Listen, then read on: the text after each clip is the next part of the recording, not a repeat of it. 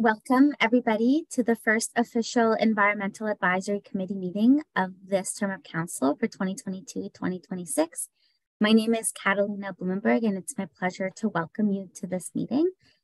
Um, so before we get started with the official meeting and the confirmation of the agenda, um, I'd like to take a moment to do brief introductions of committee members um, and those joining us um, before we move to confirm the agenda. So I will just start, I'll call out your name just based on uh, where I see you on my Hollywood squares on Zoom.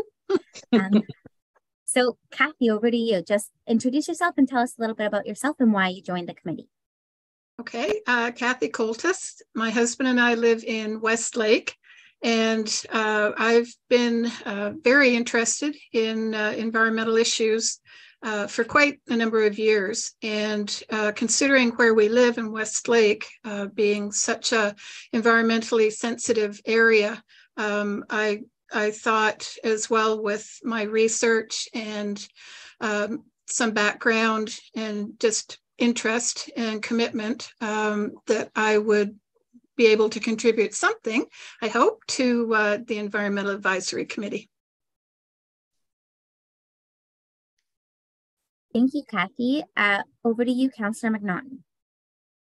Ah, I'm next. Hi. Um, hi, everyone. Uh, I know most of you. My name is Kate McNaughton, and I'm ward counselor for Picton Ward, along with Phil St. Jean, who's in the picture. And uh, this is my uh, second term on the EAC as well as council, and I'm really excited to be here. I'm really excited to to see a lot of new faces returning and excited to work with uh, you, Kathy, and, and Paulina.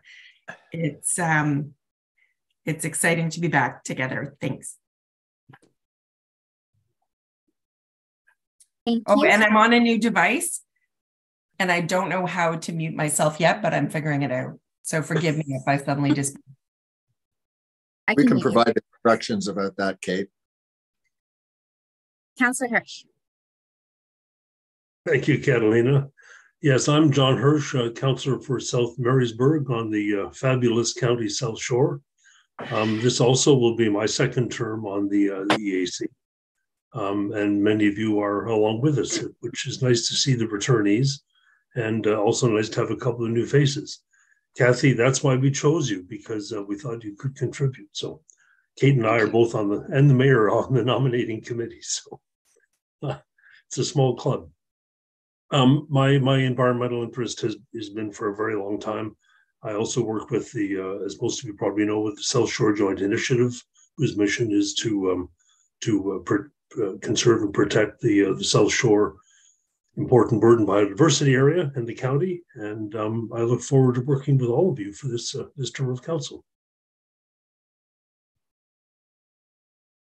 Excellent. Thank you. Next, Jillian. Hi, everyone. It is also nice to see everyone back together and some familiar faces, which is great. Uh, my name is Jillian. I'm representing from Hastings and Prince Edward Public Health. Climate change is one of my topics that I work on, um, as well as other health hazards, food safety, and safe water. So, a lot of overlapping issues associated with climate change. So, it's nice to get uh, what's going on in the county and stay up to date with all the information. So, looking forward to another term. Thanks, Jillian. We're lucky to have you as a technical representative. Next is Jane.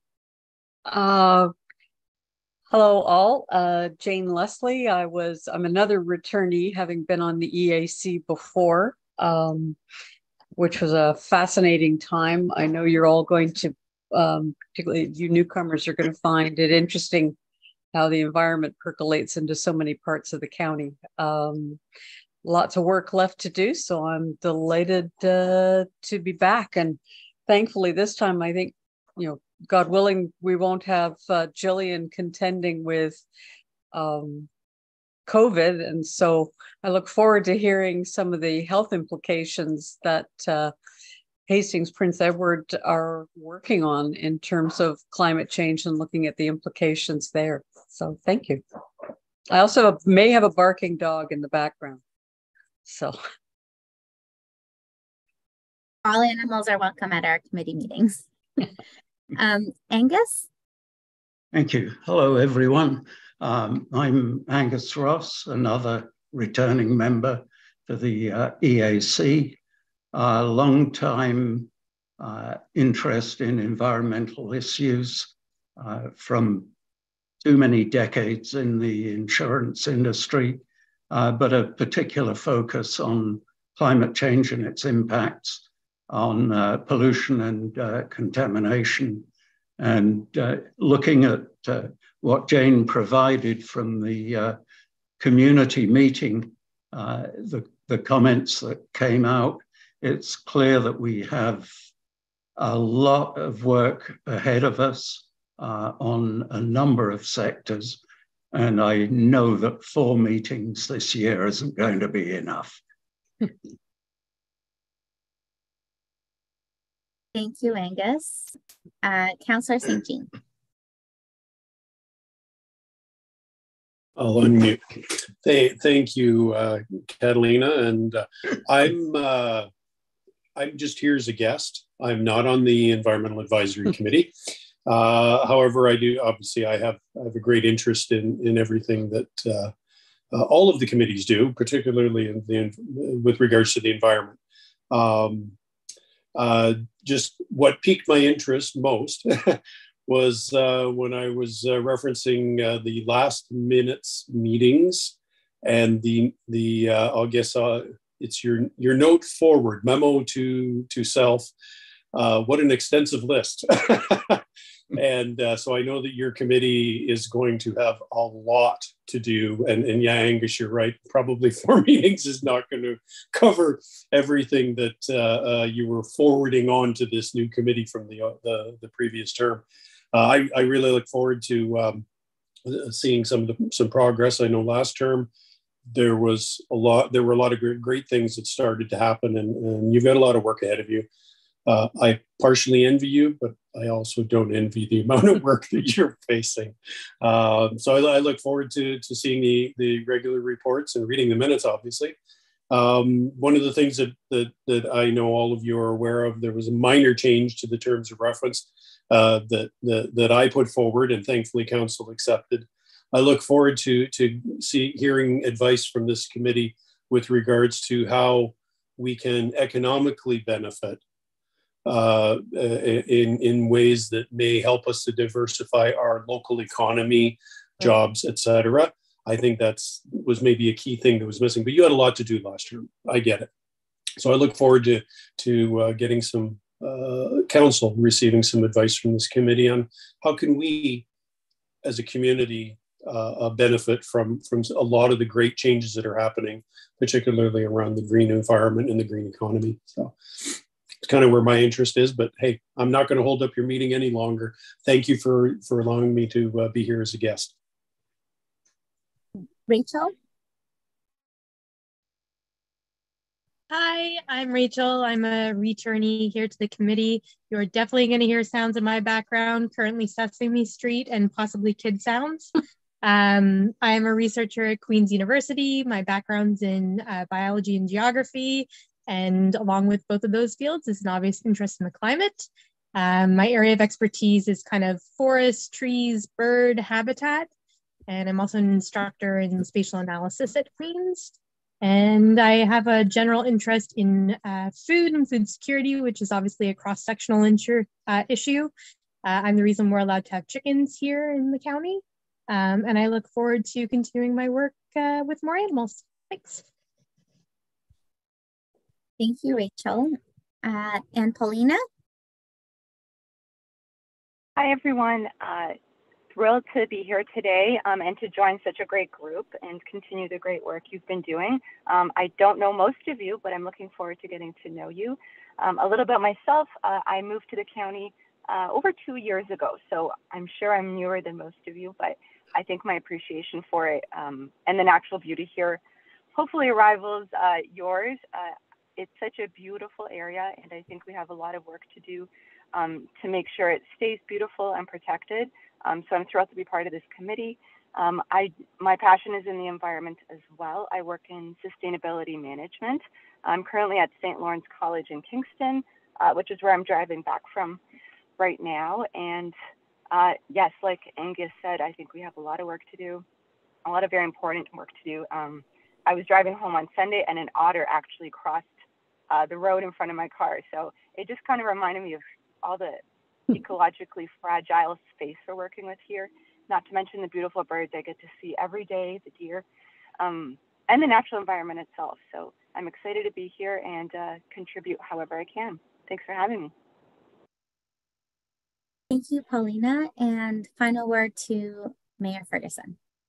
Hey, hi, everybody. Um, thanks. I'll, I'll just preface this by saying I can't stay for the meeting. I've got another thing I have to attend to in about 15 minutes, but I did want to take the time to uh, welcome the new members as well as the, uh, the returning members to the EAC. For, for those unaware, this uh, last term, um, the Environmental Advisory Committee was formed in 2020. Uh, the first new advisory committee to be formed in, in quite some time, and, and in my view, quite quite overdue.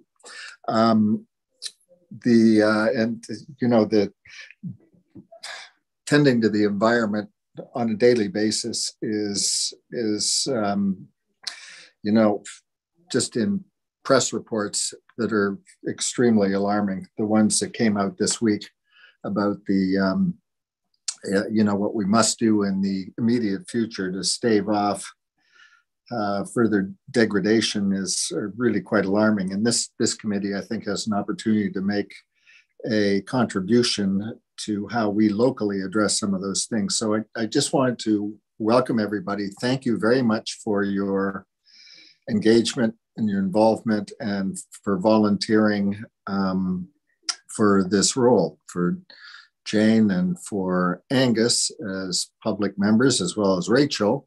This will be their second term, so another four years. And to Jillian and Kathy and, and Paulina and everybody else, please thank you very much for your contribution. And, and uh, I'll be joining meetings as they go along, but I can't stick around uh, this afternoon. I will say that in Councillor McNaughton and Councillor Hirsch, um, John and Kate, as they will be known around the the, uh, the table, um, you have two very dedicated, enthusiastic, and passionate environment. I'll call them environmentalists um, who share the concerns of, I think, the broader the community about the work that we must do. So best of luck in the, uh, the term going forward, and thank you again for your contributions. Great. Introductory words from the mayor and all committee members. Um, I'm sure it's going to be a very productive uh, term. There's lots of work to be done. So with that, could I get a motion to confirm the agenda? Jane, seconded by Councillor McNaughton. All in favor? And that carries. Any out of bail. See ya. Bye. Any disclosures of pecuniary interest today?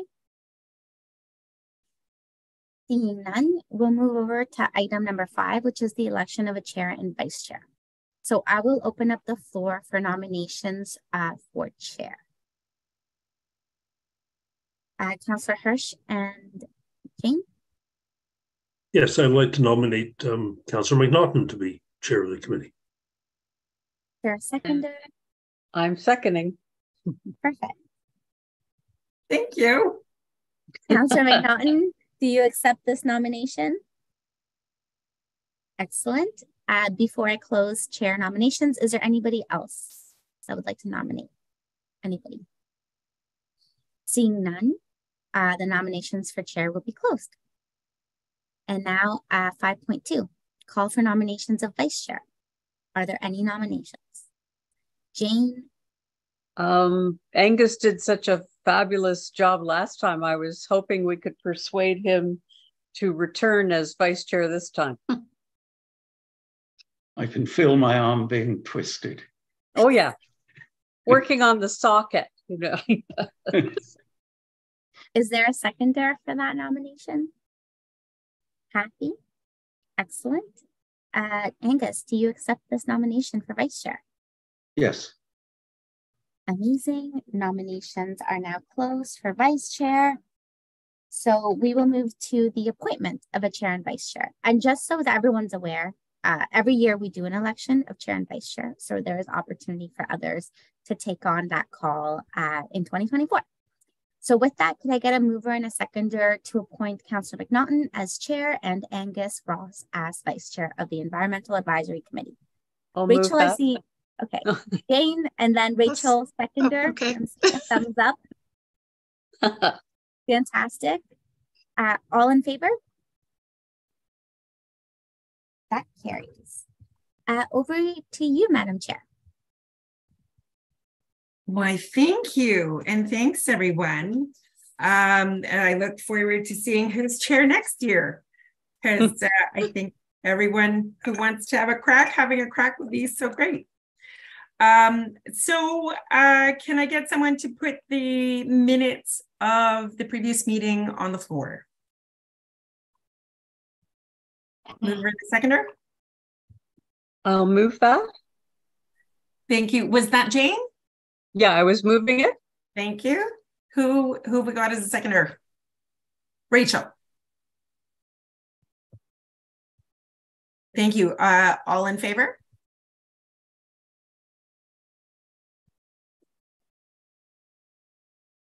Great. So on to seven. Does anyone have any announcements coming up? Rachel, you've got your thumb up. Is that for that? Never mind.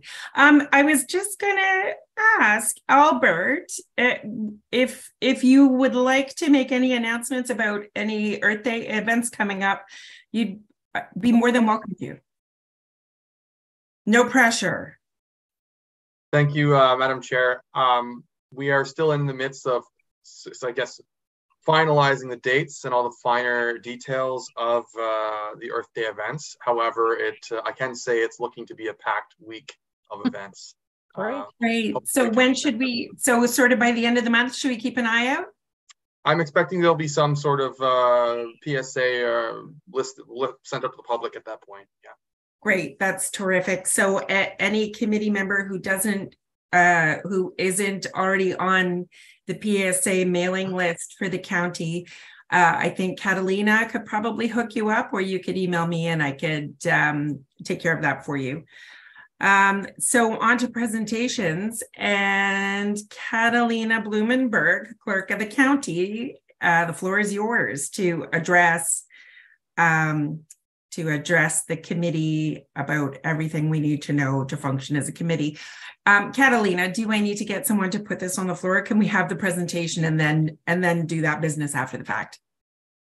Uh, certainly, through you, Madam Chair, you can just move the motion at the end of the presentation. Great. Is it okay if I share my screen?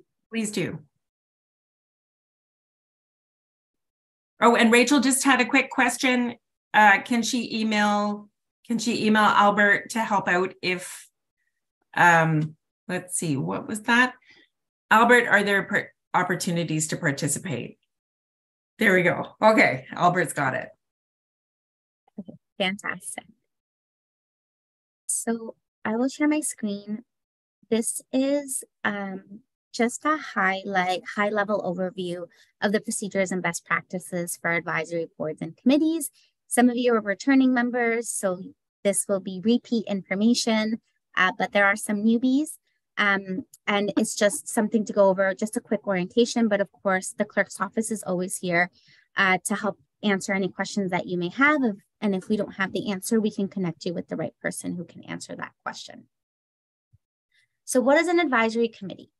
So it's established and mandated by council. So council decides at the beginning of their term what committees they'd like to create. Committees are part of the municipality, you are part of the team. For committees, council makes decisions, exercises power, and committees advise and recommend so that council can exercise that decision-making authority. Um, committees play an educational role and act as a public conduit to council as well. so you are all appointed to the Environmental Advisory Committee because you are champions of the environment and you have expertise in that area. So part of your role is also educational and to act as that point of contact for the municipality if there's any environmental questions. And ultimately, council sets the rules in almost all cases, except where it is provincially legislated. So some committees, such as the Accessibility Advisory Committee and the Built-in Cultural Heritage Committee, have extra powers because they are legislated. So there is provincial legislation that states that they shall exist and they have certain powers. But the Environmental Advisory Committee, there is no piece of legislation that says a municipality needs to have an Environmental Advisory Committee. So your power comes through your terms of reference, which are approved by council. So where does authority come from in governance in Canada? It comes from the Constitution Act, which gives federal and provincial powers, and then provincial legislation, which is mandatory and permissive. You may have heard that municipalities, our level of government, exists as creatures of the province. So municipalities derive all of our power through the Municipal Act, the Planning Act, and other various pieces of provincial legislation that provide the municipality the authority to function and provide services. And then, as a level of government, municipalities pass bylaws and policies that are also mandatory and permissive within the realm of authority that municipalities have. So, as local government, it's really important. These are the principles that um, we believe in. Uh, we're open and transparent um, meetings uh, of advisory board and committees and council have to be predictable with predictable subject matter. That's why a meeting agenda is so vital, as well as uh, meeting minutes that outline the decisions that you made as a committee. All of our meetings are open to the public. Um, this term of council, uh, council decided to take it one step further and be even more open and transparent uh, by having our advisory board and committees live streamed, which is excellent. Um, we have fixed election dates as well. So uh, municipalities have to have an election every four years, and typically that is in October. Uh, before, it used to be that municipalities would have to have an election every two years, um, and that was mandated by the province. So now it's every four years. Municipalities also have special proceedings for property rights, and then we have to be accessible. We have to remove barriers in our community through provincial legislation to be barrier free and accessible uh, by 2025. So the authority of advisory boards and committees, the nature is again um, purely advisory. You provide advice to council. So council can approve, amend, refer, or propose other resolutions to the decisions that you're making as a committee. Um, because council has the has to think about bigger picture while you are advocating and championing causes of the environment council then takes a wider approach to it and a wider lens um, beyond the terms of reference of the Environmental Advisory Committee. And advisory committees cannot reconsider, recommend, or advise or provide advice on a matter that has been already decided by council unless directed to do so by council. So uh, with our advisory boards and committees, a lot of times staff with the CAO um, will provide, will ensure that staff are consulting with advisory committees before a decision is uh, in front of council for a decision, just so that um, we can connect with the subject matter experts, which are all of you, and get your feedback and advice before something is up for decision for council. And you see this on your agenda today. Your first item for consideration is the lawn naturalization bylaw, which is going to be up for council decision soon. So the Municipal Conflict of Interest Act is another piece of legislation that uh, we have to follow as a municipality and you as appointed public members. So the Municipal Conflict of Interest Act is concerned only with pecuniary interest. So that means financial or economic interest. And your pecuniary interest could either be direct or indirect. So direct would be it's your pecuniary interest or a spouse, parent, or child has a has a pecuniary interest in the matter, which is a before you for decision. Indirect um, pertains to any of the following. So it could be a pecuniary interest in a matter which um, a local a local board is concerned. So it could be like your employer has a conflict of interest, a pecuniary interest with that matter. Um, your uh, it's a body to which you are a member of. So let's say you're wearing your environmental advisory committee hat today, but you're also a member on an, another community organization, such as um, the Chamber of Commerce or Community uh, Business Improvement Association. So if there was a conflict because the committee was providing funds or working on a project with that board, you have to be aware of that indirect uh, pecuniary interest. So, what to do if you do have a conflict of interest or if you think you have a conflict of interest? Number one, it's up to you as a committee member to ascertain whether you do have a conflict of interest. But of course, the clerk's office is there to help help you with that and our integrity commissioner. So most of the time, if it's sort of in that gray zone, um, you're not 100% sure if you have a direct or indirect conflict of interest, our integrity commissioner is there to provide you advice on whether you do or you don't. So if you do, you file a written statement with myself or your committee clerk for the committee. You disclose that interest prior to the consideration of the matter. So um, we always have a section on every agenda that is a pecuniary interest, a conflict of interest section. Um, you don't take part in the discussion or vote on the matter. And before, during, and after the meeting, you cannot attempt to influence voting. And if a meeting is closed, you have to actually physically leave the meeting or leave the virtual meeting. However, it is not a requirement under the legislation for you to actually physically uh, or virtually leave the meeting if it's an open meeting matter. You cannot attempt in any way to influence decision or recommendation um, of the officer or employee of the municipality. And if you're absent from the meeting, you can disclose your conflict at the first meeting when you are present again. And then all of our declarations of pecuniary interest are posted on our website for public access. Now to the code of conduct. So that's another piece, uh, another policy that you as appointed public members on the Environmental Advisory Committee have to adhere to. So the code of conduct is established to provide standards for conduct of members uh, in the capacity of your official duties. These standards are intended to enhance the public confidence and support the county's reputation and integrity. So the code really ensures public trust and confidence in the county's decision-making uh, process and operations. And if you ensure that you're always following the code of conduct, it will protect and maintain the municipality's integrity and fairness in decision-making, but also your integrity um, and fairness as an appointed member.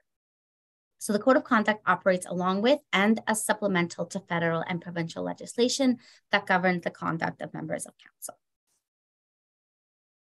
So the principles of the code are all decision making is done in an open, accessible, um, and equitable manner that respects the county's governance structure. Your appointed membership is not to be used for personal financial gain or benefit. County residents should have confidence in the integrity of their local government and of their members. And the conduct of each member demonstrates fairness, respect for differences, and a duty to work with other members together for the common good. So if you've seen, there's a link um, to this presentation to the code of conduct, but there's different sections in the code of conduct. There's general integrity sec section, confidentiality of information section. Um, it's especially important for closed meetings or information like let's say we are providing you with information that hasn't been made public via email to the committee for whatever reason it's really important that you keep the confidentiality of that information and anything that is confidential would always have a confidential uh, in the line item and again reinforce in the message if it is confidential to make sure that no incidents happen that you share information that you shouldn't improper use of influence section. There's also a section um, about respecting staff. So in the way that you as committee members and us as staff work together, uh, just to make sure we're on the same page and that we're always being respectful of each other and the different roles that we play. Because as staff, we are providing you with our expert advice. Um, but you as committee members um, appointed by council have a right to maybe amend um, any of the recommendations we put forward in, in our reports or give feedback that maybe doesn't necessarily align with the initial advice that staff is giving you but it's important that when we have those discussions that that, that dialogue that ends up being better better outcomes we do that in a respectful manner the use of municipal property it talks about um, how we use municipal property when we have meetings in public spaces, et cetera, and then gives benefits and hospitality. Board and committee process. So before 2020, uh, some of the committees were not under the uh, administration of the clerk's office. They were led by the subject matter experts. So um, environmental advisory committee, well, it was under clerk's office, but agriculture advisory committee, for example, was under planning. So planning would support it with the agendas and the minutes and uh, the administration of the committee. But uh, since 2020, COVID gave the municipality that window of opportunity to bring those um, the committees to the clerk's office to uh, provide that administrative support. But then all of the county as a whole, all staff support the work of different committees as a whole, depending on the subject matter that's up for uh, an agenda topic. So how we make sure that all of our committees are standard, uh, standardized and equitable is the procedural bylaw. So the procedural bylaw governs the way committees are run. It includes rules of how meetings are called, who's involved, where they happen, and how they proceed. It also guides how residents interact with council and committees and the way the municipality communicates about meetings. And the procedural bylaw outlines a fair and consistent approach with respect to consideration of county business and establish and it also establishes standards in relation to notice provisions, agendas and minutes, resolutions and voting. So how you vote, how you bring ideas forward, they have to be brought forward uh, through motions, um, the council committee structure and membership appointment. So the procedural bylaw is our governance document for the municipality. So the purpose of one is to maintain transparency and accountability of council and committee decisions if we follow our procedural bylaw, um, we're also promoting public input and awareness of committee and council decisions. It improves the effectiveness of council meetings and the clerk's office as a whole. It ensures accessibility issues are considered within council procedure. Um, the way the bylaw is written is inclusive of all persons, and it accurately reflects the requirements of provincial and municipal law. So the procedural bylaw outlines um, when agendas are published, how minutes are available. Uh, it talks about how uh, members of the public have to contact the clerk's office and what, what timeline to be able to be to uh, be a deputation at an environmental advisory committee. So it just really ensures that uh, we're transparent and accountable in the way that you make decisions. So hyperlink to this presentation is also a quick reference guide on the procedural bylaw. If you haven't had a chance to check it out, it it's really great because it talks about um, the different types of motions that we have um, and of course just uh, how to talk at meetings. Sometimes there's procedure like through the chair or it just talks about it's a quick reference guide and, and i really encourage you to take a look at it. So all meetings are open to the public and public attendance is welcomed and encouraged. Um, now all of our advisory committee meetings are streamed on youtube um, agendas are published three working days in advance of a regular meeting date, and all minutes are approved at the next scheduled regular meeting of the committee. So the big no-nos at meetings are offensive and unparliamentary language, deviating from the subject matter being discussed, criticizing decisions of council. You know, you can be constructive about certain decisions, but it's important to, again, just do that in the right manner. You should not disobey the rules of the procedure or bylaw or disobey the rules of the chair when chairing the meeting. Again, disclosing confidential information or displaying offensive or partisan uh, material at meetings is not allowed. So quickly, uh, just a couple tips on your role as committee members. Familiarize yourself with the terms of reference, understand your relationship to council, actively participate in discussion and decision making, review the agenda and materials before our meeting, undertake the work assigned by council or the CAO, operate under our county bylaws and policies, be open-minded and professional, ask questions and seek clarification, exude respect, and understand how the municipal code of conduct and the conflict of interest applies to you. And if you have any questions about this or any clarification, please feel free to reach out to myself or, or anyone from my team. So before a meeting, advise the council and committee coordinator if you're not able to make it. Review the agenda uh, and come prepared with questions. During a meeting, you should actively participate, vote on motions, and the way we vote on motions is with a hand up We never vote in secret or by um, like a secret ballot or uh, ranked ballot, nothing like that. It's always just a hand up. Ask questions of staff or other members, maintain decorum and respect, and then follow the chair's rulings. And then after a meeting, review minutes from the previous meeting, follow direction from counselor, the CAO, and take action on any work assigned. So the role um, of staff is uh, to work with uh, the council and committee coordinator on agenda items. So this is like Albert or Adam.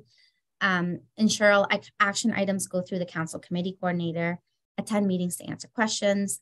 Uh, staff should not commit to work to complete work that has not been approved by council.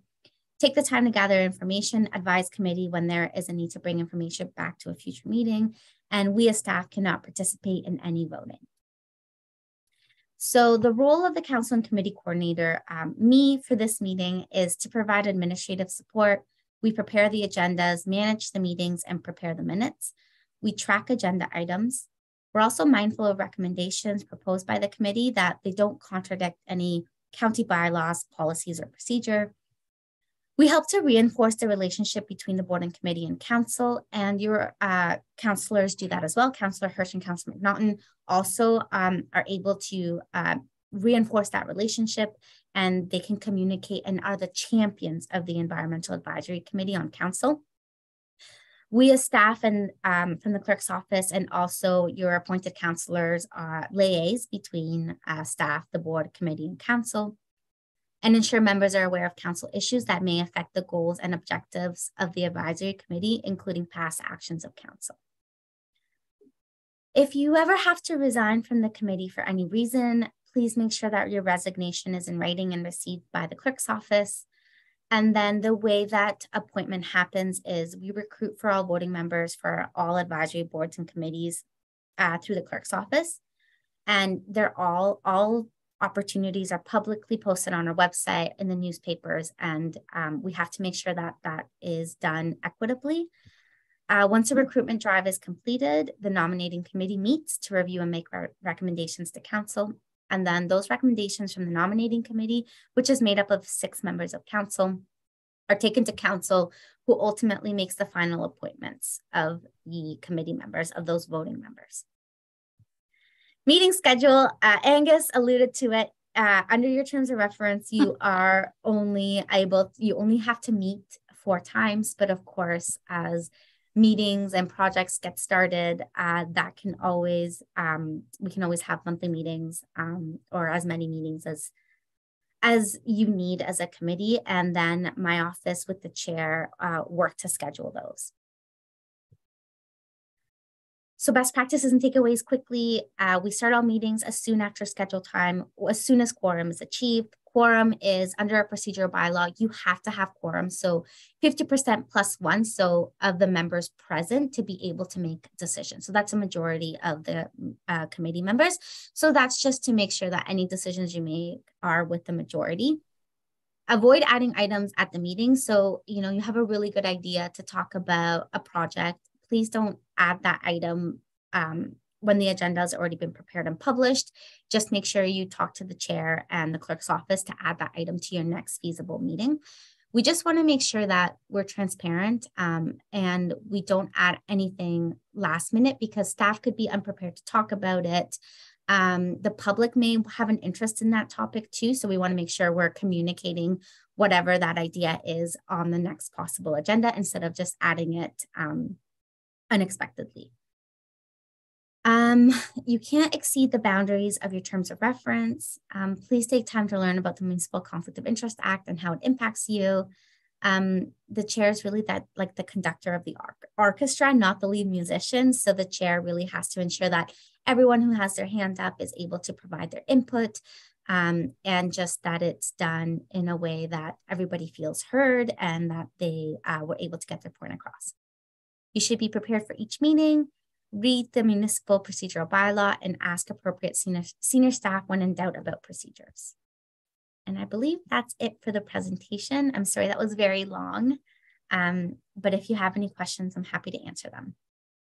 Thank you, Catalina. That was an excellent primer for uh, for this new um, reconstituted environmental advisory committee. So does anyone want to ask any questions at this time or would anyone like clarification or does anyone have any concerns? I'm seeing none. So the people participating from the phone, Paulina, if at any time you want to pipe up because you're driving, please don't think that you have to signal somehow and just call out and we'll accommodate you so that you don't Okay, uh, you. look at your phone and get in an accident. Yeah. Thank you very much. Um, how's your drive going, by the way? Oh, it's good. Thank you. um, I just got off the 401, so uh, about Almost home. Almost home. Yeah. Thanks for home. asking. So um, going forward, uh, our outgoing, our, our former chair, Jane, became quite a master of how the Environmental Advisory Committee uh, meetings could be optimized. If anyone has questions about procedure, of course, call the clerk or her staff. But if you have additional um, questions or concerns, please reach out to John or myself, like Catalina highlighted, or I would I would lump Jane in there too, and I think she'd be willing to. victim. She's uh, become an expert at how how this committee um, how this committee works and how we can all move forward together. Jane. Yeah, I just um there was a reference to advising um the chair if you're not going to be there.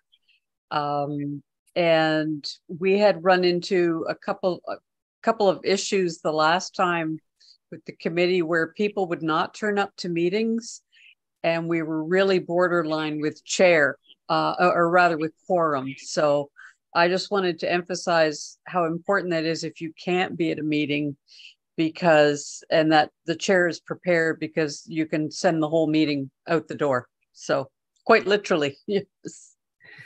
So, and if anyone needs additional, you know, if anyone is not able to use calendar reminders, because the clerk will send out a calendar reminder that you can accept and have on your own calendar. If that's not something that you do do and you would like a reminder, otherwise, I'm sure we can do something um, in that regard to support that with that with an email um, an hour before or something like that. Happy to oblige, particularly for people who are being pulled whose time is being pulled in many directions.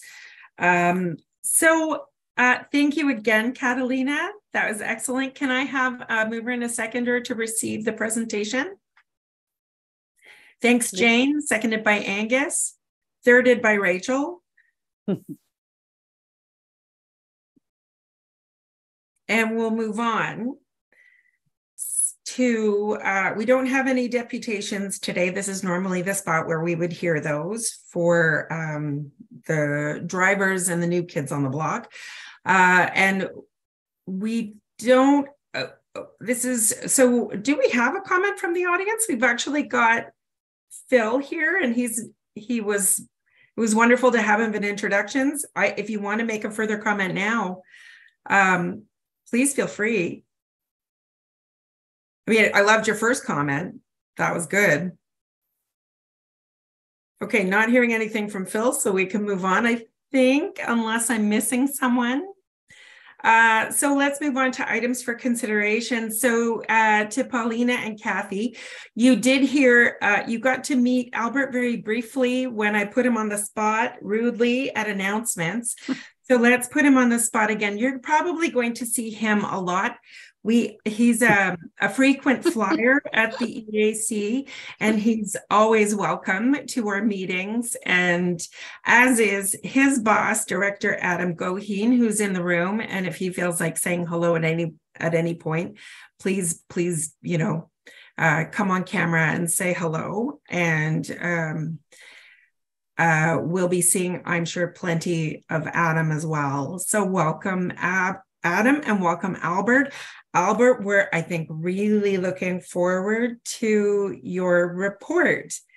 And this is a long time coming, and I'll let you provide the explanation and the details. Welcome back, Albert.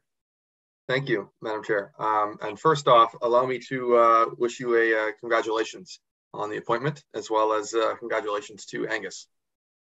looking forward to working with both of you uh, going forward. So I'll, I'll, get right into it. I figured um, it would be a good idea to provide a little bit of background on the consultation that's occurring at the moment. So this consultation is uh, regarding naturalization and uh, No Mow May. Um, the history of this, for those new members on the uh, committee, comes back from a meeting uh, of the EAC in October, I believe, of 2021. And out of that meeting came some recommendations um, for staff to prepare a report on naturalization as well as No Mow May. and this included a review of uh, the existing bylaws that we have in place in the county, as well as uh, comparisons with our municipal comparators, uh, and also a, a, look at some of the um, recent legal challenges that have come against some of uh, the prosecutions under various municipal bylaws. Um, so that, that report was provided on May 3rd of 2022 and went to um, council shortly after. Council uh, ratified the recommendations in that report. Uh, that came as a, I guess, the minutes of the EAC. the recommendations uh, sparked us to start a consultation with the public. Um, the consultation has uh, and it was initiated on the 17th, so that would have been last Friday, and will uh, proceed until the 31st of this month whereas we will uh, take the results of that consultation, um, reduce it into a report, and uh, likely, possibly, I should say, conduct some updates to a draft bylaw that was prepared uh, as part of the uh, consultation, and come back to uh, council on April 13th, I believe. And so we will uh, present the results at that point in time. And I believe afterwards it will be sent to, um, sorry, I should say committee of the whole on the 13th and council on the 25th that is a snapshot of, uh, of what we've done here. Um, the consultation itself focuses on looking at the existing bylaw, what's missing, uh, or what is overly restrictive of that bylaw. it also includes a list of local weeds that have been designated or proposed, I should say, uh, in conjunction, uh, a consultation with the EAC Natural Cover Working Group and that uh, local list would be a new addition um, to the grass and weeds bylaw, in addition to what's already there. Um, those weeds are specifically invasive species and not necessarily noxious, um, but uh, invasive all the same and of special concern. Uh, beyond that, the consultation also asks uh, the public to weigh in on No Mow May and whether or not they would prefer to see it, if they think it's a viable um, option for public or private property or perhaps not, or you know, or maybe they perhaps feel that a pilot project would be more appropriate. So it's trying to gauge the public and how they feel about that option. And uh, again, results of that will be presented with the report. And I hope to have uh, lots of exciting news on the 13th.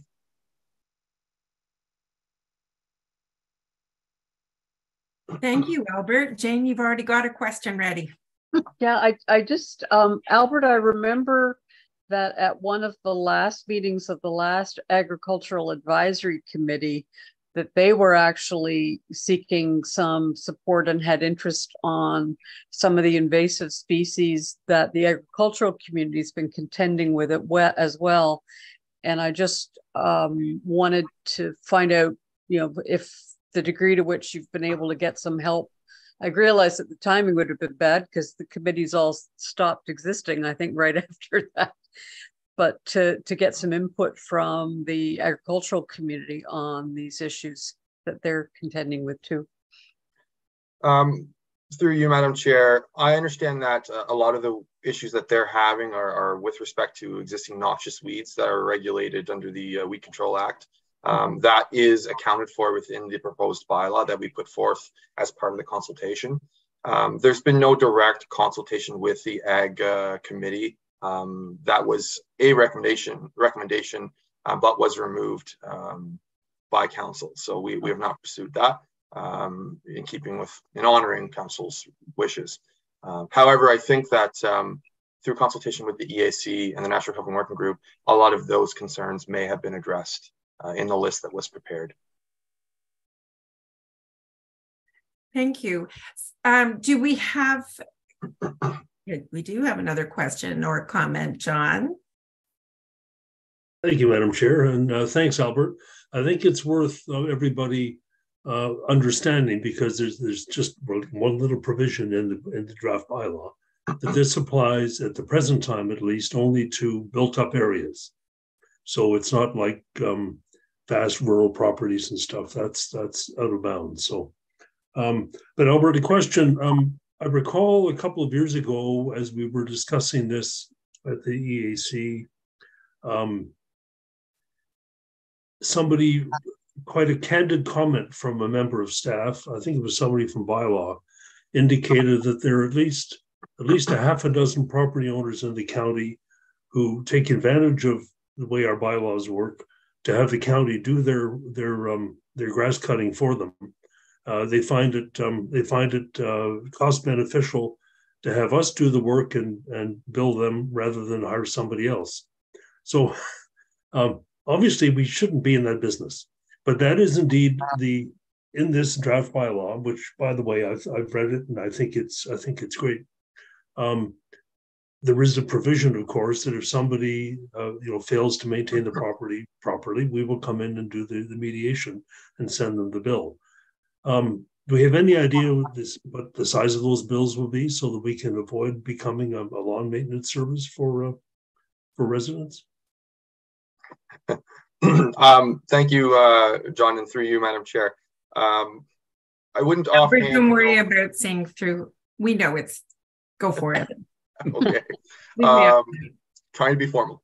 So uh, yes, so I wouldn't be able to speak to specifics of cost because that would obviously vary depending on the size of the property and the nature of the, the uh, cutting that would be required. I can say that the bylaw folks were consulted as part of the development of this bylaw.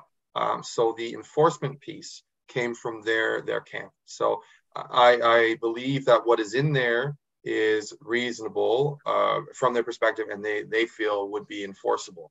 Um, now, with respect to people taking advantage, I think the way the bylaw is worded is that uh, it's a complaint uh, driven system.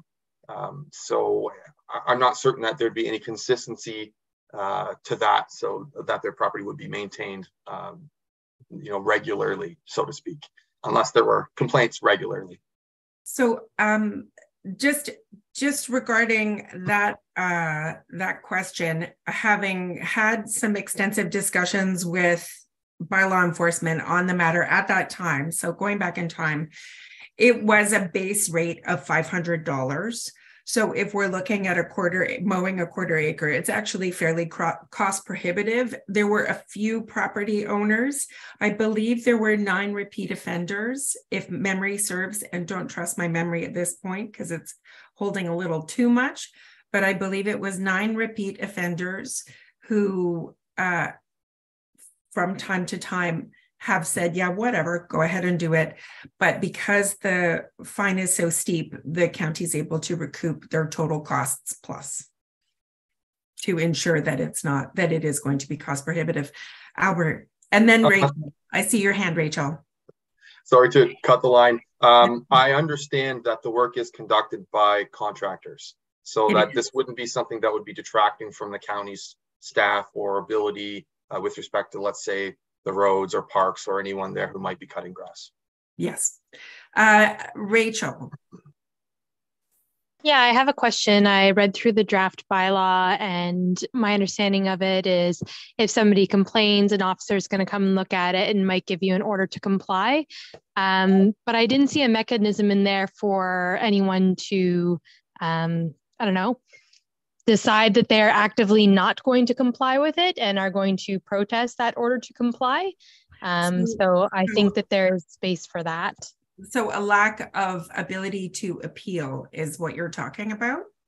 Exactly. Yes, because the way it reads right now is if the bylaw officer comes and says, yes, you need to do this, then you have 72 hours to do this. And if you fundamentally disagree that you deserve to, you know, be ordered to comply, there should be a mechanism to appeal that exactly.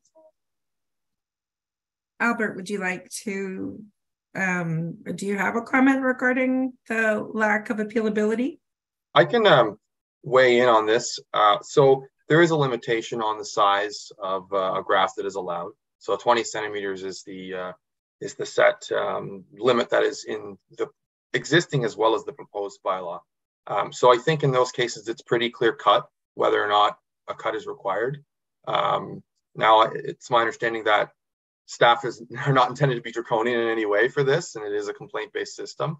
Um, so I, I, think there's there's leeway in there. There's there's room to uh, to be reasonable. Uh, I don't think folks are getting out with measuring tapes and and you know checking someone off if they got five centimeters more than they should. Um, but I don't believe that having an appeal system in there. This is this is what was explained to me, anyways, uh, from bylaw.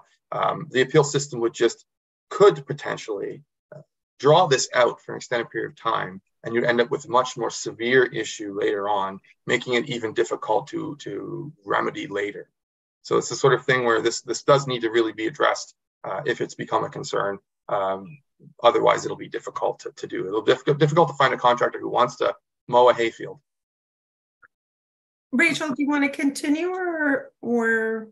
Yes, I have a follow-up question. Um, why is it 20 centimeters? Is there a biological reason? That is a good question. Um, this is something that's been carried forward from the previous bylaw, as well as consistent with many other bylaws across the uh, the province. Um, for specifics into whether or not there's biological advantage to having it a certain height, uh, that I'd have to get back to you on.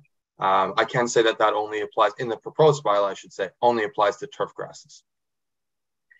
So thank you. Uh, so, Rachel, one of the things we did discuss in uh, last year was the uh, desirability of rolling many of the um, principles at play in the current draft bylaw into the property standards bylaw, which has an appeal process. So, if some of the um, some of the uh, information that's in this current bylaw and some of the encouragement that's in this current bylaw was rolled into the property standards bylaw, there, there would be more room to appeal.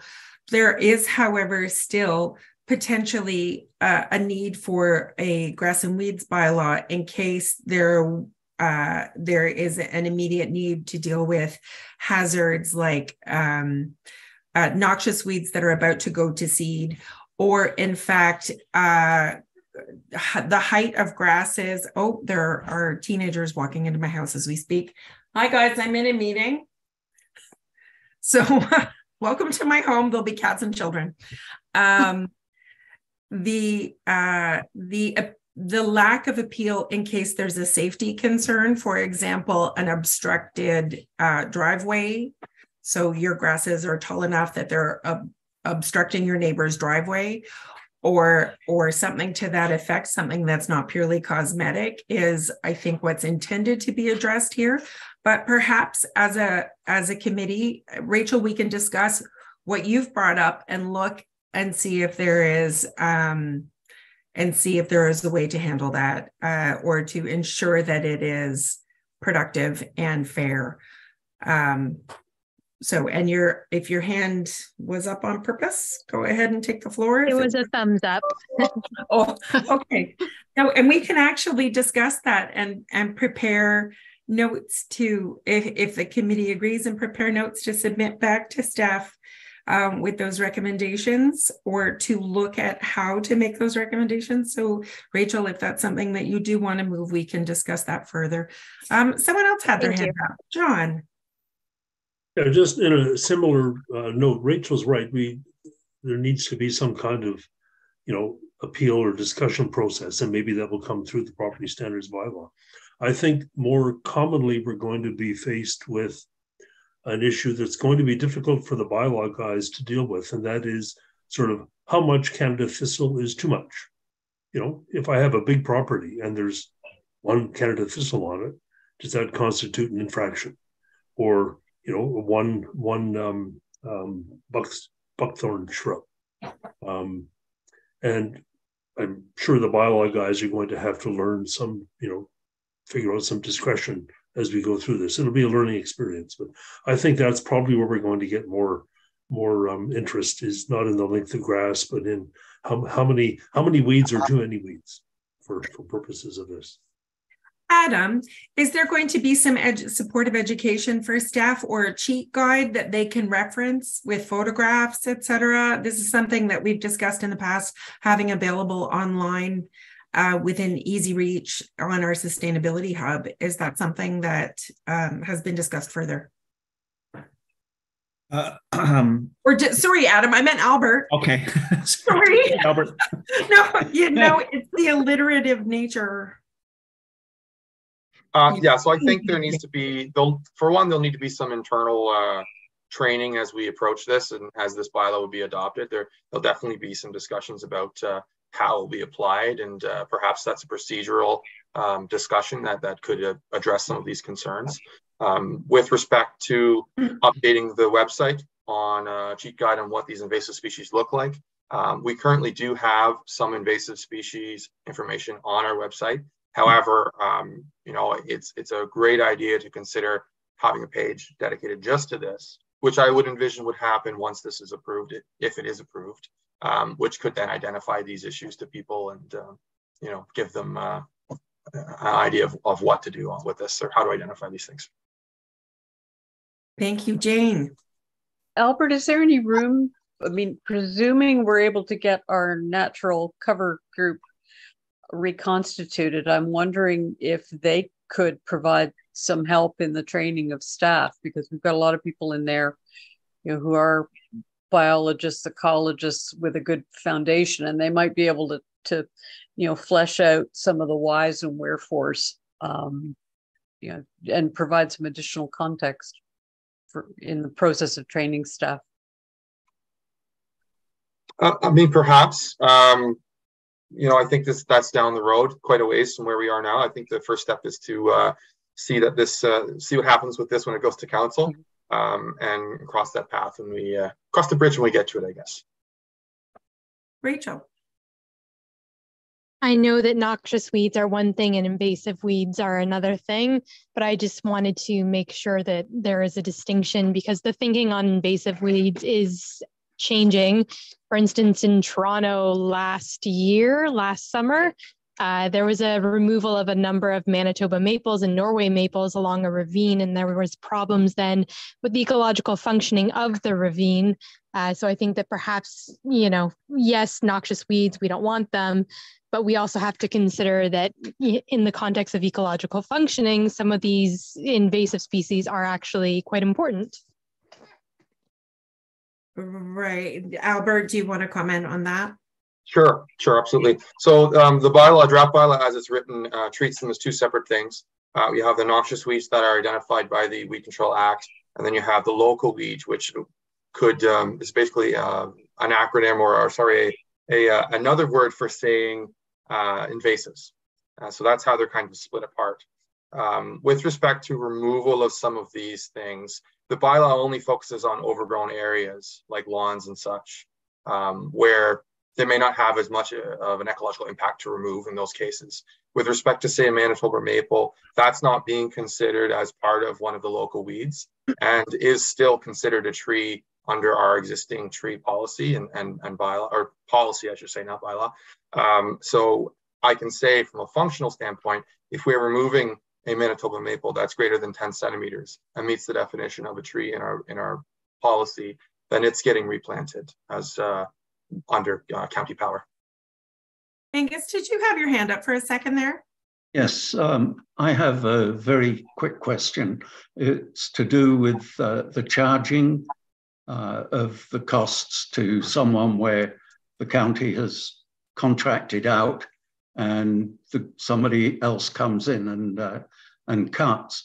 Um, do, does the county uh, just charge the individual what they're charged by the contractor, or do you build in some additional cost for the uh, time spent by bylaw to go out and check, uh, the time taken to organize the, uh, the contractor? Um, because otherwise, you know, they're getting a, a grass cutting um, and not having had to work for it at all. Go ahead. Um, my understanding is that uh, that rate does account for costs to the county. I, I don't believe it's shortchanging the county. I would uh, want to confirm that, though, however, with bylaw, they're the ones who would set the fees um, for that. So um, I could get back to you if, if preferred. Okay, thank you. So it, it was under the last bylaw, I believe that's what um, was confirmed at when um, Andy joined us at our meeting last year. So, however, going forward, I think also taking that as advice to uh, Albert that that is that as a practice is continued is desirable. Um, I I think no matter what he discovers, I think sort of taking forward a cost recovery approach would be highly desirable. Uh, I think I think would the committee agree generally with just with nods, not with a vote, that that is indeed the direction that should be undertaken? Yes. So um, would anyone have any further comments or questions for Albert? Or discussion that they would like to um, bring forward to the committee regarding the grass and weeds bylaw consultation? No, I yes, think, I have Yes, Paulina. go here. ahead. Yeah. Um, yep, just a quick question. I was wondering, uh, and forgive me for not knowing too much about uh, what the committee's done in the past. Is there any work being done to educate landowners about replacing their grass with something else? So I know we mentioned no mow May, but is there any kind of initiative to eliminate mowing altogether and talk talking about how grass really isn't ecologically valuable, how other plants Yes. could Excellent question. So um, just before I turn it over to Albert, later on in our on our agenda, we're going to be discussing the natural cover working group and some of their efforts. But I think one of the hopes with this bylaw, and Albert will speak to it in a moment, is that it's going to be encouraging to people to go out and rip up their lawn and plant something that's beautiful and wonderful. But I'll I'll throw it over to Albert. Um, thank you. Uh, I've actually already had requests as part of this consultation uh, whether or not they could people can proceed with uh, ripping up their lawns to do uh, to do different alternatives. So there's the desire there, um, at least in, in some respect. Um, I think this harkens back to what when we were talking about the sustainability hub and putting more information out to the public. I think again, step one is to see that this goes to council and council has a final say on uh, what actually occurs. And if it does indeed get passed, at that point in time, we would look to provide some support, uh, in supporting information, again, through a page on the Sustainability Hub or, or some other mechanism to provide people with information on, um, on how to do this or, you know, what the alternatives might be. Um, and Paulina, just uh, just so you know, the nat- the outgoing natural cover working group uh, was really interested uh, in seeing their next incarnation undertake public workshops to that effect. And um, if we can at some point sort of um, solidify a communications program, we could probably also look to produce some how-to videos with with the assistance of members of the public. So there certainly a, a lot of interest in that area. It's very exciting to hear you bring it up. Um, any further Thank comments? Yes, and I'm sorry to jump the gun. What's that? I'm sorry to jump the gun if it's coming up. Don't jump the gun. Don't be sorry. No, no, no. This is a, the perfect time to mention it. And um, it's uh, like I said, it's exciting to hear you bring it up. There's lots of interest, and I think um, the more that we can do as a committee to support that interest, the better. So thank you for bringing it up. Um, further comments and questions? So uh, as committee members, make sure that you've had a chance to look at the consultation page and fill it out if you so desire. Can I get a mover and a seconder to receive the report from Albert Pashkoviak? John and Kathy, thank you. And so many hands went up. That's great. So all in favor?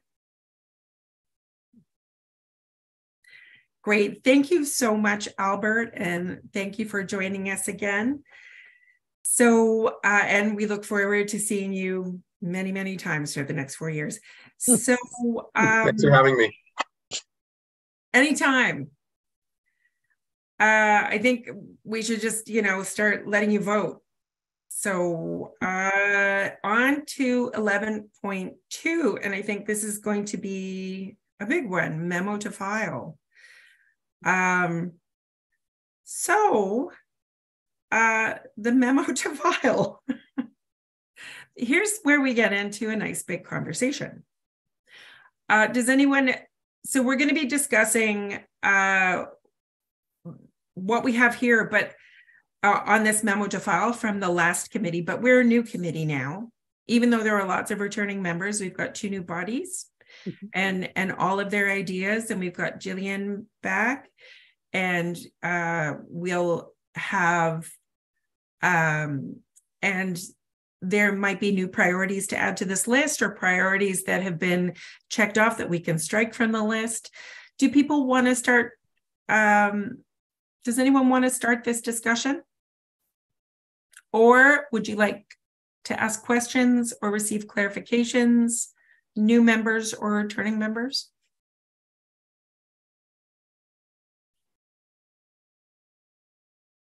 Okay, so um, would people be interested? So this motion is uh, includes a request for council approval to undertake some planning uh, activities so that we can sort of iron out a work plan for uh, for the next couple of years.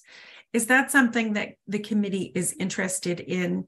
Uh, are there ideas that people would like to see are sort of put into action for a meeting like that? Do people have suggestions or preferences?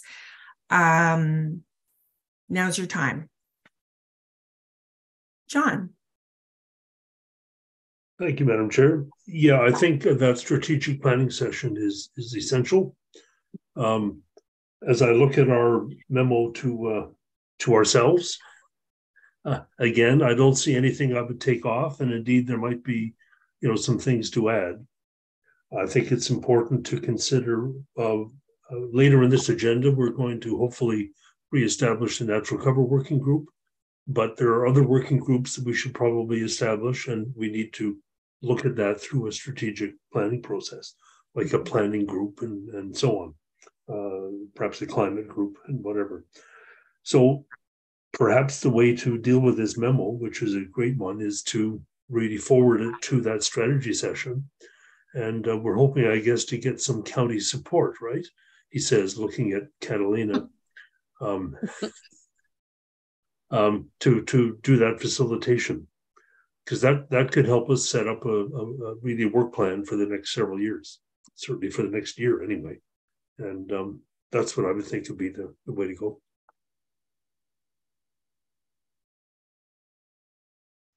Catalina?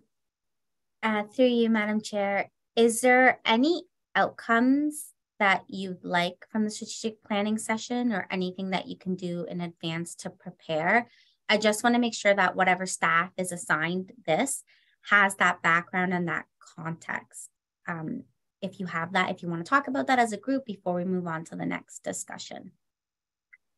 So, um, and I would start with we we need to be doing some preliminary investigations. Last year, for those who don't know, we had a very successful um, climate event that that members of the committee um, did independent of the municipality, but with the support of council and uh, with some funds through an old environmental advisory committee reserve uh, and we would need to do some preliminary legwork to to discover what how uh, what the timeline could be moving forward for this year and what that might entail and who that might involve. And that would require i think reporting back uh, at that time. Is that something uh, so that is one thing that that we should probably clear up right now if there's interest amongst the committee to move forward with with some preliminary investigations in that regard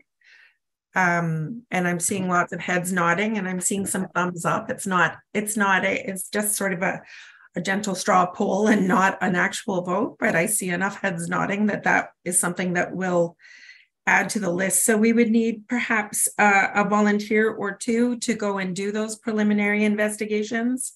Um, Angus, I'm looking at you. And um, is that something that uh, just informally um, yeah, you'd be willing to work on, perhaps with yes. some help from um, from either Jane or myself? If anyone else, oh, and Jane, you've got your hand up. Yep. Go ahead. Oh, oh, no, you're I was, volunteering. no, I was just saying. Yeah, I was just going to say I'll partner up with Angus. Terrific on this. Great, that's great. Are there any other? So I think goals for uh, a um, strategic planning session. Are people more interested in ironing out a work plan than, shall we say, ironing out what goals we'll attend to?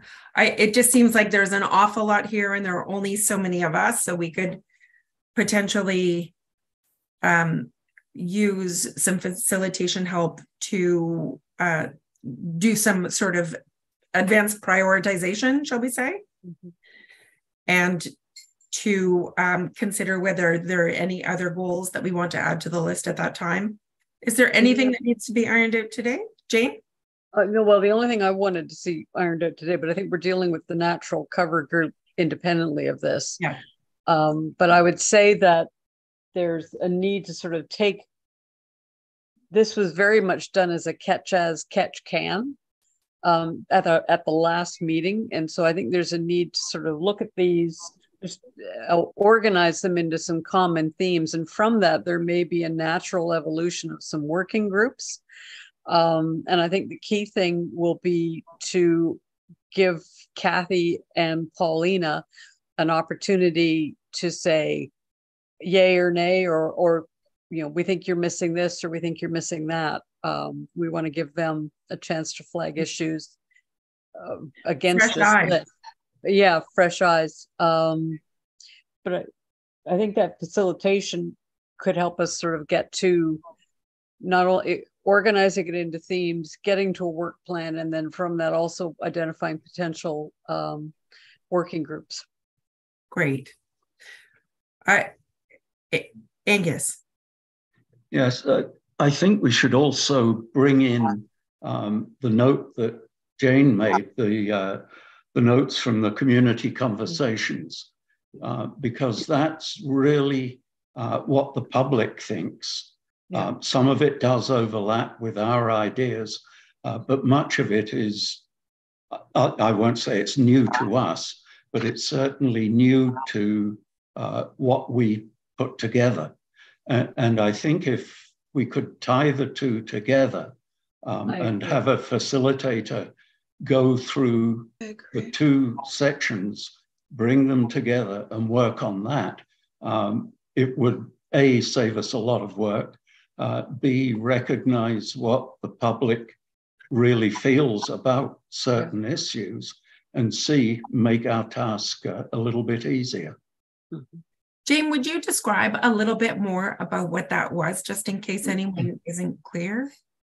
Well, basically, um, it was StrategyCorp was is the um, consulting group that's been working with the municipality to sort of identify, and this has been going on, I think, beyond even the prior council, um, but taking it back to say what should the seven key priorities be, or this up till now, there's been seven identified, and strategy core to, and that was basically by the initial process was, I guess, to consult counselors, to consult staff, other sort of key parties um, as to what they thought the priorities for for uh, the municipality should be strategic priorities. And the final stage of that, which flowed over into this year, was Stratcor, the consultants going out.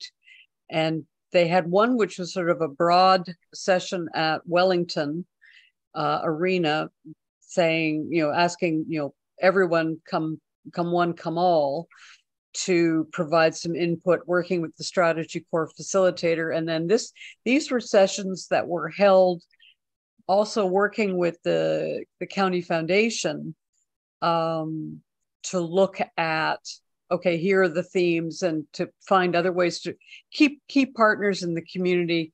Here's your opportunity for input. Here's your opportunity to speak to this and set some priorities. But the main goal of this is is to create two-way community engagement. And so it's not just top down it is seeking the grassroots input on where these priorities should be i hope that's excellent what you were thinking does anyone of. want to uh, look for further Yes.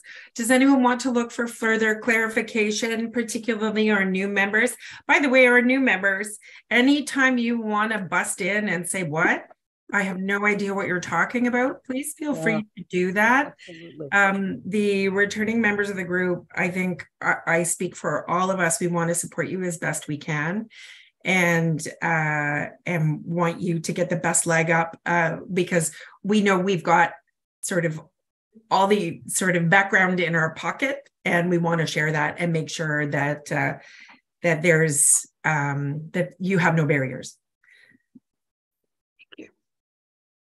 My demon was always wanting to yell out UNA, UNA in meetings, which is an acronym for use no acronyms, because every everybody tends to get into their FCM, PCP, and and that alphabet soup drove me around the bend for a while. So, so please do just bust in and say what are you talking about?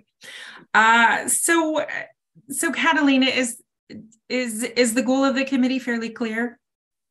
Okay, so can we go ahead unless there's yes, go ahead.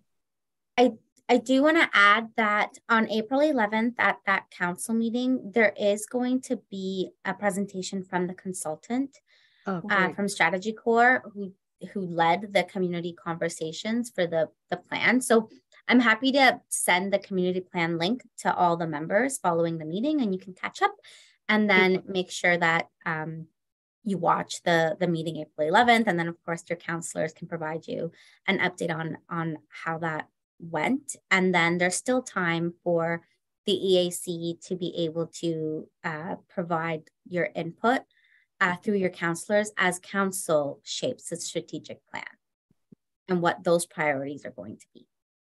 That's terrific. Thank you, Catalina.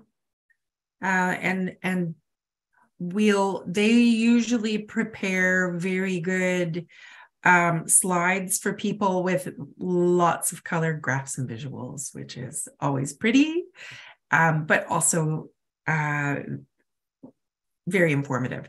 So, um, so certainly we can share that agenda when it comes out, John and I, I think.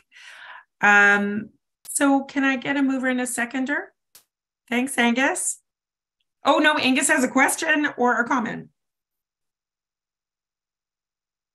Just unmuting. No, uh, it's a, a comment.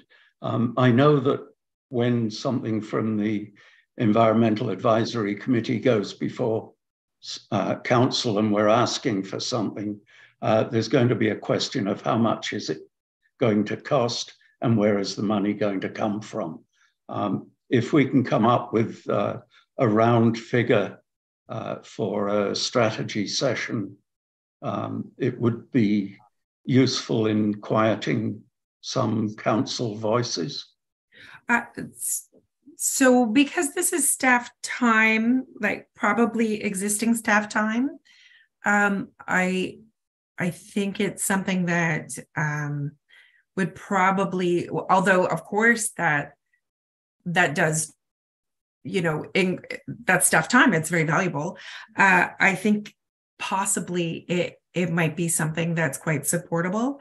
Um, and there are uh, alternatives if indeed uh, this is not supported. Uh, there are certainly alternatives because last year we had an offer from a member of the community who does this as a living, who offered to do this again. So maybe at that point in time, if we weren't able to um, to do this through staff, we could look for um, outside assistance. But I think uh, I think our CAO would prefer that it was done in house, and I think our clerks would prefer that it was done in house.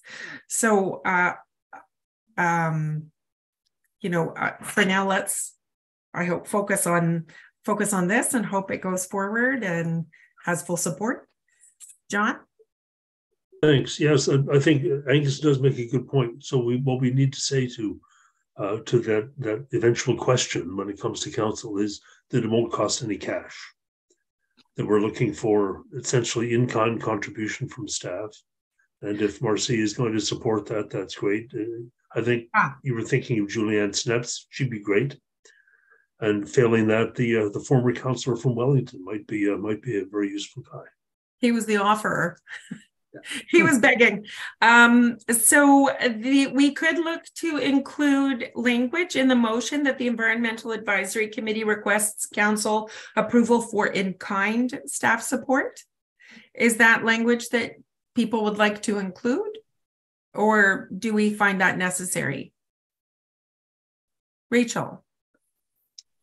Uh, I think that's good language to include. And if we do have plans to have community type events in the future, uh, maybe in kind use of facilities and not just staff time could be good.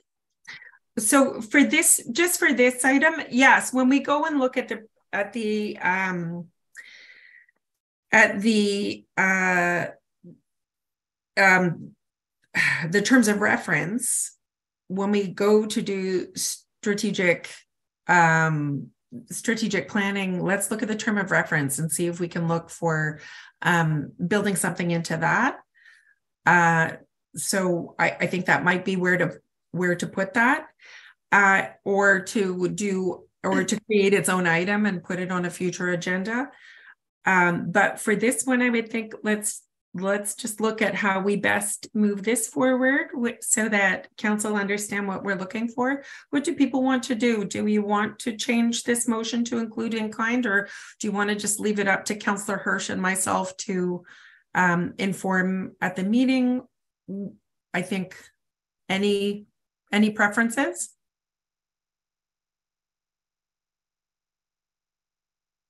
No? Not so much. So we'll just leave it as is, but mm-hmm. we'll take that note forward and try to clarify. Okay.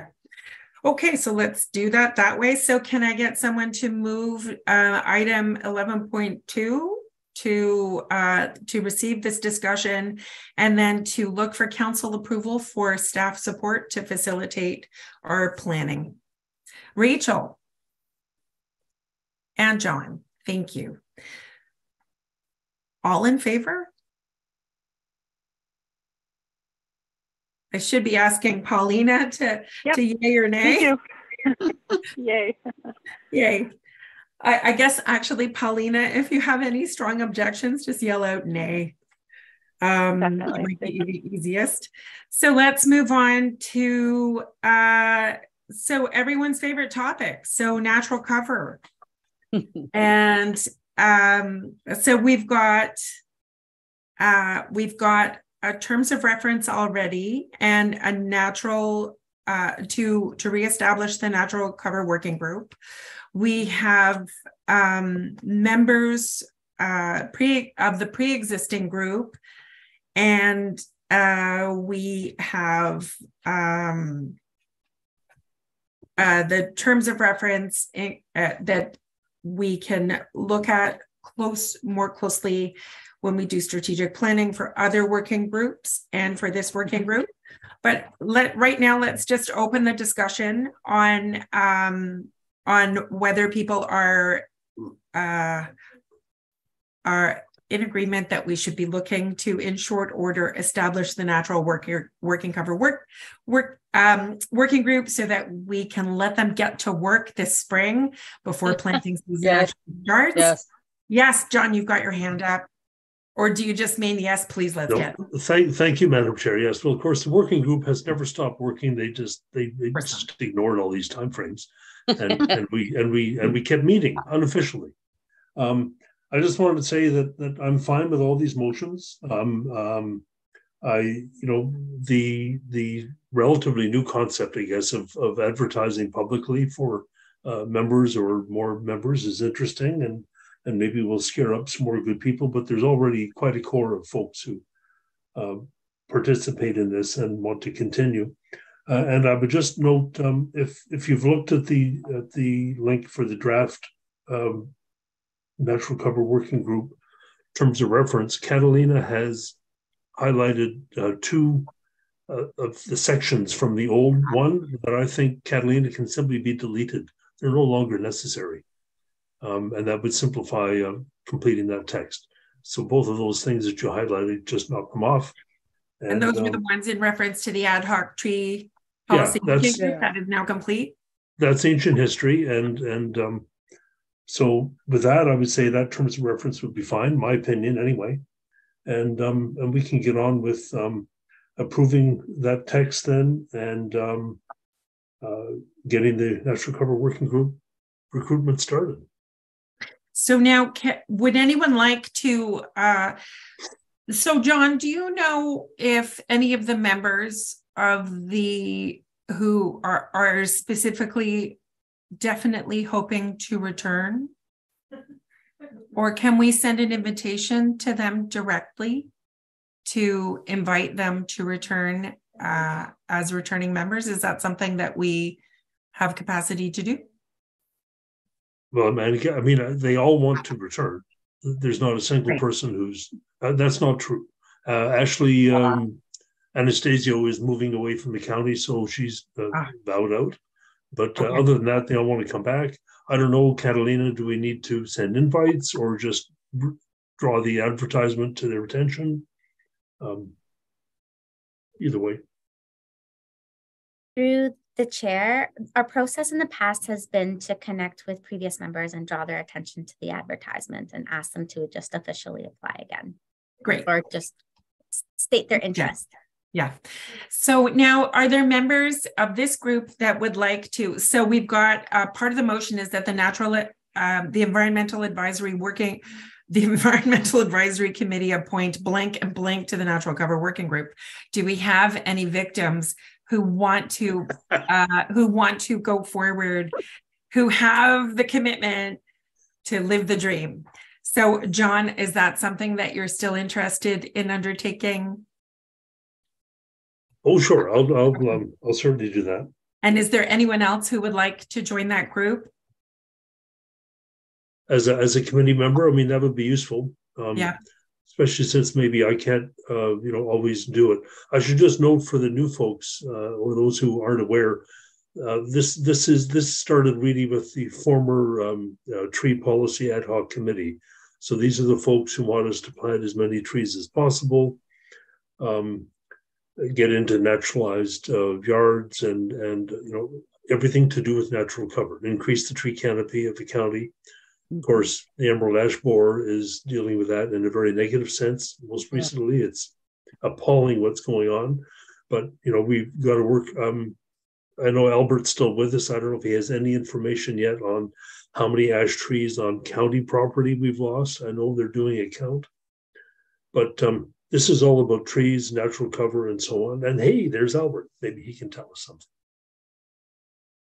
Yeah, I, I don't think at this stage we have an exact number, or if the number we do have, uh, it wouldn't be it wouldn't be appropriate for the whole county. Really, all we've completed so far is an assessment of ash trees within settlement areas um, and some of the major thoroughfare thoroughfares, like major uh, roadways but the uh, assessment for these trees in, on public property continues. There's still work to be done. It's ongoing. In fact, uh, I was out doing some of this last week, so it it, uh, it continues. We're hoping to present the results of that. Oh, sorry, go ahead. Sorry, so you, you must be into hundreds already. Oh yes, yeah. There's yeah. quite a number of them. Yeah, and and never mind public land. If you look at the whole county, we're into tens of thousands. There's no question. Yeah. So. Yeah. And these so, are tremendously enthusiastic folks, Lise Bois and uh, Susan Banks and so on. Yes, the more we can coax back, I'm sure when that uh, when that invitation goes out to the public, the the better. Um, Paulina, this is a group that even if you don't, uh, if you, you're not interested in joining the group, you might uh, be interested in attending to discuss with them um, what their long-term plans are, what their hopes and dreams are for natural cover in the county, for funding natural cover in the county, and for um, moving several bylaw targets potentially for tree protection forward. So it might be a great group for you to connect with on some level. Um, great, thank you. Um, I, I do know Lise, um, and yeah, I was just about to jump in. I'd be happy to join. And, uh, I think that would be great. I think that would be great. Um, wonderful. So, uh, is anyone else interested as well? Because uh, as long as we don't hit quorum, um, anyone is welcome to to join that group from the committee. Uh, and also, even if you don't join that group, I, I think they'll have a fairly, whenever it's reconstituted, we'll have a fairly open door policy so that people can go and connect with them as they like. Uh, so what I'm hearing right now is that that motion, that uh, clause in that motion is going to read that the Environmental Advisory Committee appoint John Hirsch and Paulina Schlatska. How do I pronounce your last name? Oh, that was perfect. Oh, thank you. Nice. um, to the Natural Cover Working Group. Uh, all good with that, Catalina? Yep, that's perfect. Awesome. So any further comment on the rest of this motion? Any further questions or clarifications? Okay, let's go. Who wants to put this on the floor? Rachel and John, thank you. All in favor? And that carried.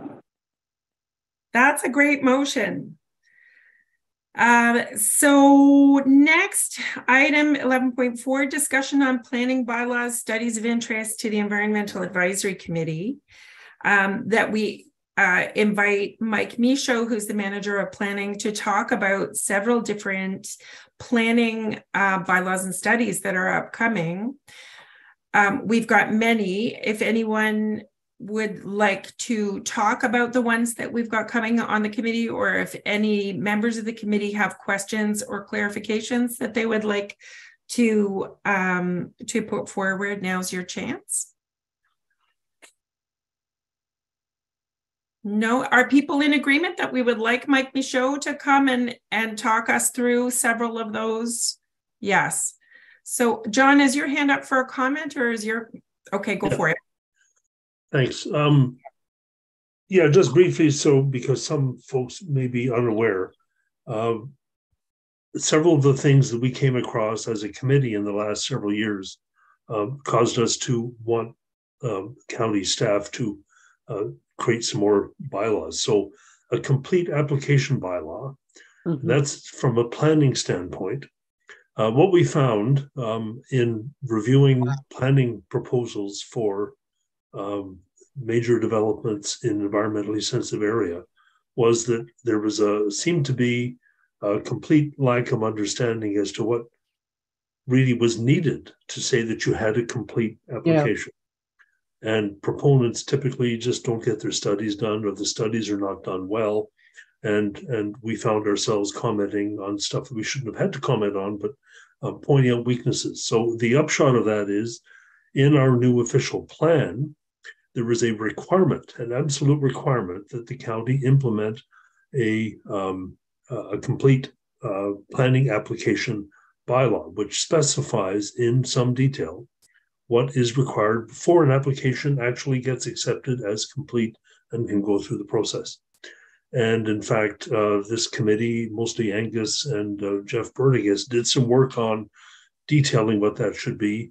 So we need Mike Michaud to come back and, and uh, see where that's at. Um, as noted here, the zone, the entire comprehensive zoning bylaw is being updated um, to match the new official plan. So that's a project that um, I'm sure the EAC is going to want to be involved in, and um, ongoing work on um, a site alteration bylaw, mm-hmm. which is going to incorporate um, the concept of trees and when they can and cannot be cut down. So it may shock some of you to know that we don't have a site alteration bylaw in the county. Mm. So right now you can dig big holes in your property. You can cut down all the trees in your property. You can do all kinds of nasty things and, and alter the site with no permission whatsoever. You only need permissions for development, like building. So most communities have a site alteration bylaw that says you can do this, you can't do that, you need a permit to do this, whatever. And of course, our target is you know trees and streams and things like that. So that's another thing that planning is working on is a site alteration bylaw, and um, and that should be met with um, great consternation and interest, hopefully, uh, especially in the farming community who generally think that we should have no power to tell them what to do at all. Anyway, not to get ahead of it, that's the kind of stuff that we want Mike to talk about. So I guess um, I just need to ask I guess May 16th is our next meeting. We're not having an April meeting. We did talk about four not being enough. I'm in favor. Well, I mean, that's our next discussion is next meeting. Yeah. yeah. but if Mike's lined up for the 16th, that's fine. Sorry, John.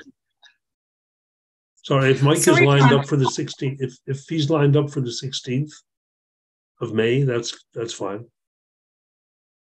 Sorry, John, I think I froze for a second there. And uh, but when we discuss next meeting date, we can certainly choose uh, choose to have an April meeting. Mm-hmm. So, and that's item 12. So when we get to that point, and I, I, suspect that the clerk is anticipating that we're going to do exactly that when we get to item 12, that we're going to be discussing potentially having a meeting before then. Yes, Jane. Yeah, the other thing is uh, certainly, I mean, John, what you've just outlined certainly indicates that we're going to be looking to reconstitute the planning working group. Um, but uh, the other, because there's a lot to be looking at in, in some detail, the other aspect here is the Partners for Climate Protection PCP program under the Federation of Canadian Municipalities. Somewhere along the way, I had read or seen something that suggested we were getting near the first of the five uh, milestones. And I think Aaron McNichol, um, the director of corporate and legislative affairs, has the mandate for that. Um, so I'm in terms of getting into discussions about other presentations or upcoming meetings.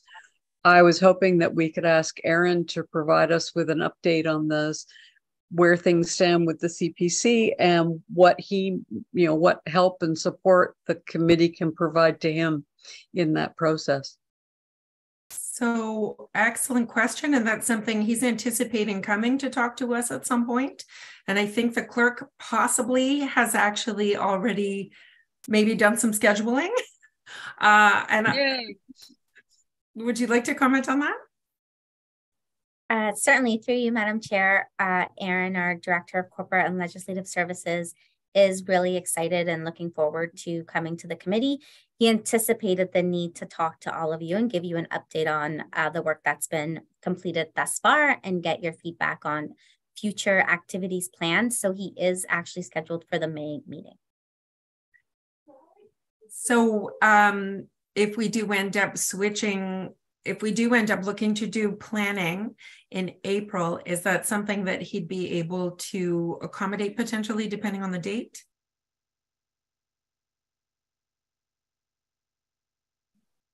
Potentially.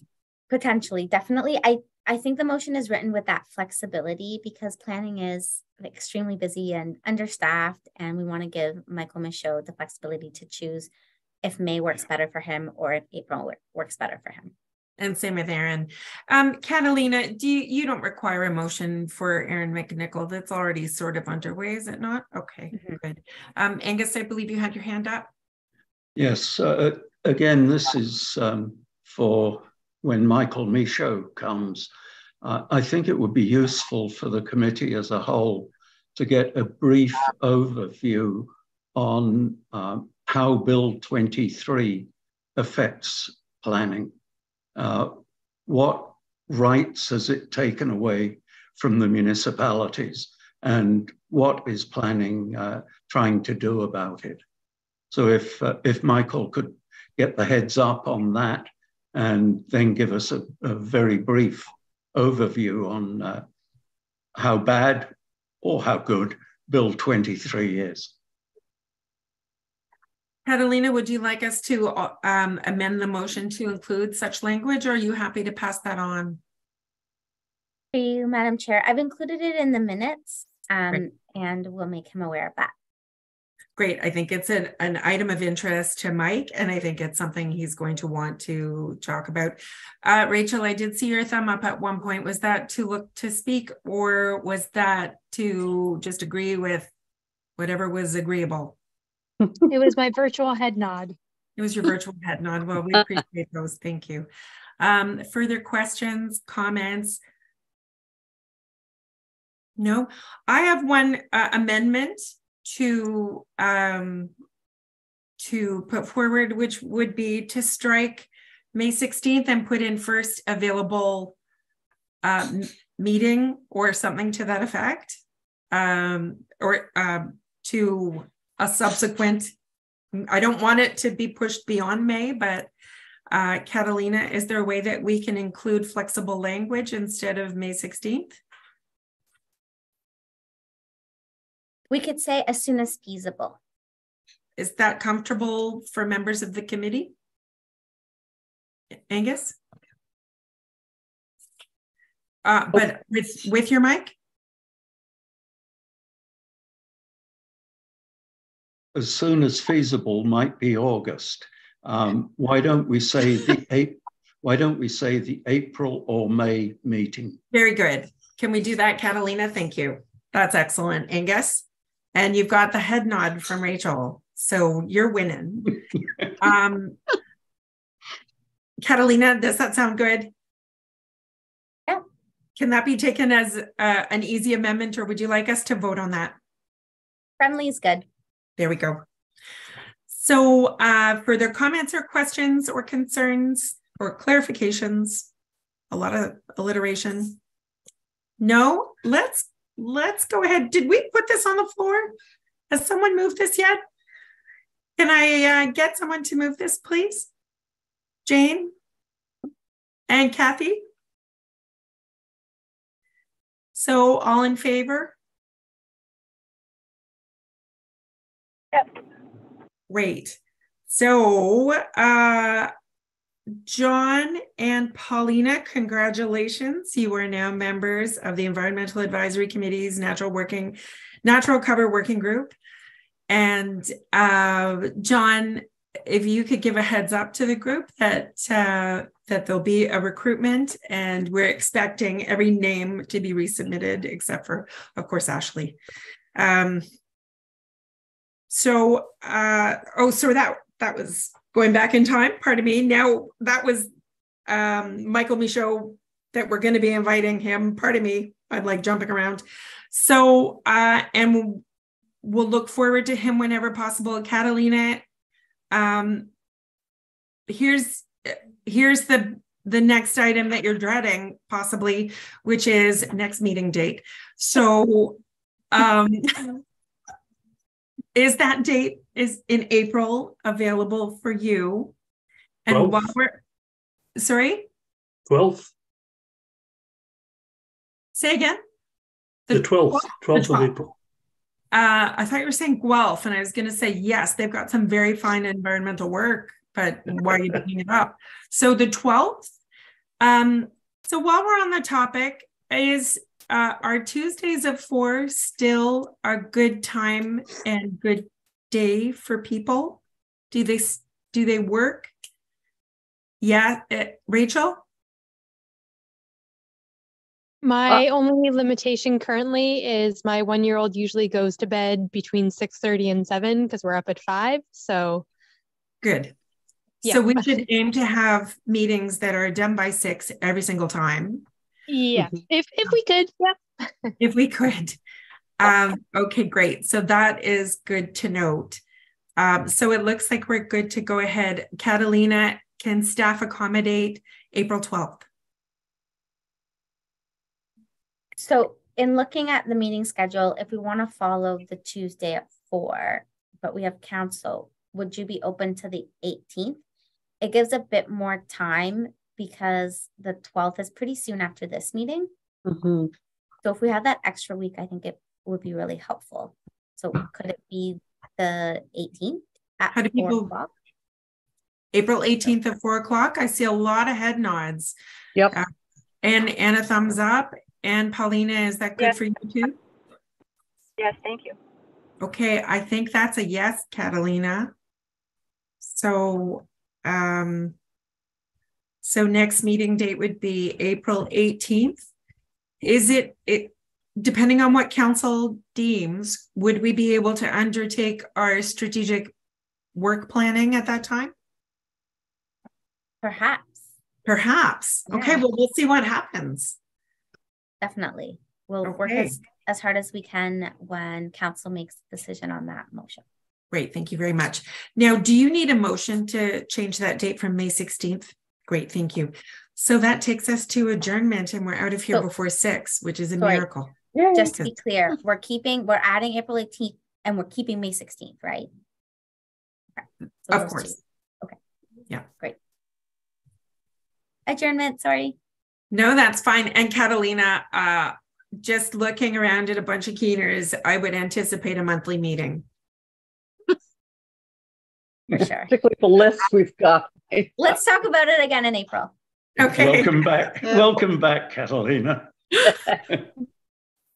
We mi- we did miss you guys for sure. Well, good. We missed you too. Well, I Um, see you all the time. yeah. You don't get to miss me. Uh, but this is this is the best. So now, Cat- Catalina, before we adjourn, um, we are going to be getting a new committee clerk soon. Are you going to hand over the reins probably in advance of April, or will that be? Uh, I'll definitely be joining her for the April 18th meeting, but she'll take the lead and then the official handoff. Yeah, after that first meeting, they'll be good to go. Very exciting. It's, it's a she. Announcement coming soon. Mhm. It's a It's a she. Little clues. Yeah. Yes, Um. Yes. When's that announcement coming up? this week. Great. So motion to adjourn. Can someone put this on the floor? Sure. Motion to adjourn at, and what time is it? At five fifty-three?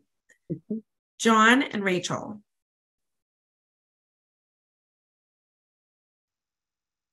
So all in favor? I guess we're adjourned. Thank See you you so much. guys. Kathy and Paulina, thank you so much. Jillian, it's so great to see you back. And Albert and Adam, of course. Adam, I'm sorry we didn't introduce you quickly enough um, when we had you on screen for 10 seconds. Thanks, Thanks, guys. Albert. Thanks, Catalina. Thank you all